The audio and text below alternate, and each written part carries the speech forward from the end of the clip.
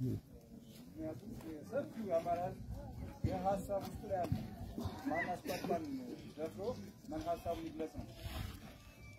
በዚህ ደግሞ ደንበጫ አይታማም። እውነት ትልልቅ የዞን ከተሞች አሉ። ይህን ከዚህ ከምዕራብ ጎጃም ጀምሮ እያንዳንዱ እንቅስቃሴ የለም። ግን በዋናነት አንድ ፍሬ ነገር ላሳስባችሁ ነው የወጣሁት። 2013 ላይ የወጣቶች ማህበር ሲዋቀር ያላችሁ ወንድሞች አሁን እዚህ ጋር ስለማይ ያኔ ስንዋቀር ስትዋቀሩ እኛ እንኳ ከፊታችሁ አለን ብለን ስንከተል አንድ ያላሰብንበት ነገር ነበር። የሚገርማችሁ ተናግሬም አልፈው ከዚህ እስከ ዞን ድረስ እኛን እየጎዱን ያለ ከደንበጫ ሄዱ አመራር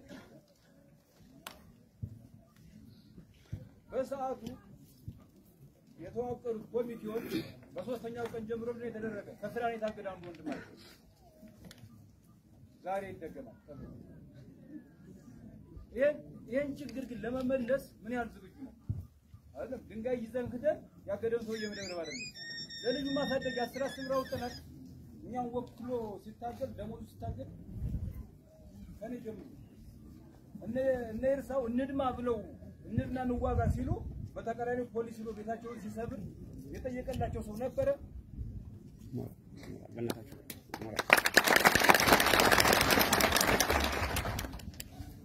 እንደ አነጋገር ምንድን ነው ሊደር ማለት የጀርባ አጥንት ነው።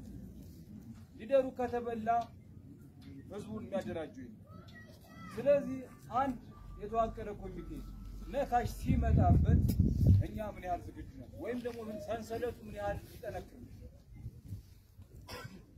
ያኔ እዚህ እኔ አጋጣሚ ሹፌርም ስለሆንኩ ስለምንቀሳቀስ በፍኖተ ሰላም ዙሪያ ምናምን ያለውንም መረጃ ተናነብ ሴራው የተጎነጎነ ልክ እዚህ ሰልፎ ሲጀምር ሴራው የተጎነጎነ እዛ ዞን የሚባሉ አካባቢ የመጣበትን አካባቢ ሳታጠራ ዞን አስተዳድራለሁ ትባላለን የነበረው ነው።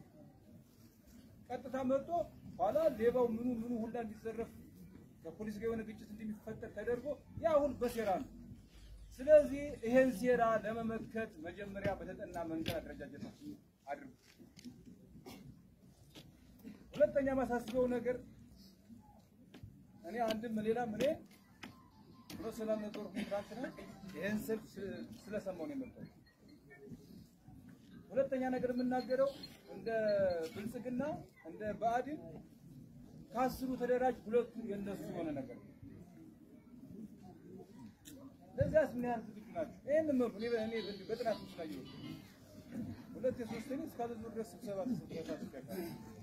ግን ከአስሩ ቢያንስ ሁለቱ እዛ ውስጥ የሆነ ነገር የሚወስድ ወይም ደግሞ እዚህ ውስጥ የተሰበሰበውን አደረጃጀት የሚበትን ነው። ይህን ነገር ምን ያህል ዝግጁ ናቸው?